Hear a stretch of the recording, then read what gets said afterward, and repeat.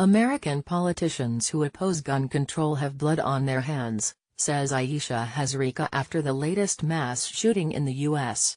We were joined by the author Lionel Shriver who made her name by writing the best-selling book We Need to Talk About Kevin about a young American boy who murders family members and classmates. We had a lengthy discussion about whether it was right to talk about these shootings so much on television and whether that glorifies the men who carry out these crimes. Of course, we also talked about gun control. We didn't think we would be talking about the same story quite so soon again. When the news came through about the shootings in Texas, the sad truth is that we weren't that shocked. These mass shootings are now part of American life. They have become normalized.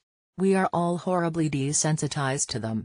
Even when the human stories unfold, a pregnant woman and many children dead, including the daughter of the pastor of the church where the shooting happened. The woeful, wicked lack of political leadership on gun control becomes ever more entrenched with every massacre. The reaction from Donald Trump was pretty breathtaking even by his standards. Yet again, the shooter was a white male.